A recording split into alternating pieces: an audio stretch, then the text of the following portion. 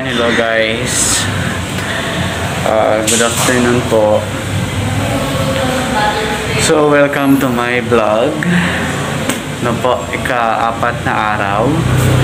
So, yung i-vlog natin today ay chess.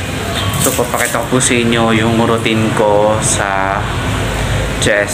So, meron lang po akong isa, dalawa, tatlo, apat, lima. Siguro po mga anim na routine sa chess. Ayan, so enjoy watching po. Thank you.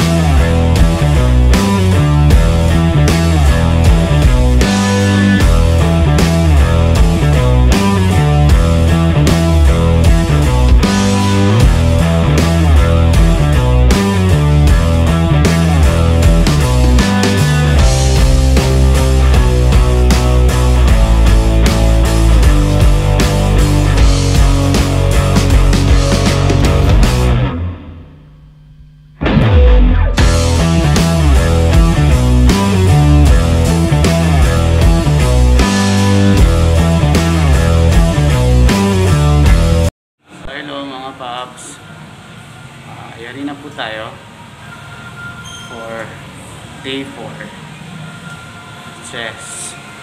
So, like what we did yesterday po, kung gusto niyo pong uh, makita yung routine ko for uh, chan, abs, pakipanood lang po yung video day 1 and day 2. So, thank you for watching guys. Again po, please like and subscribe. Thank you and God bless.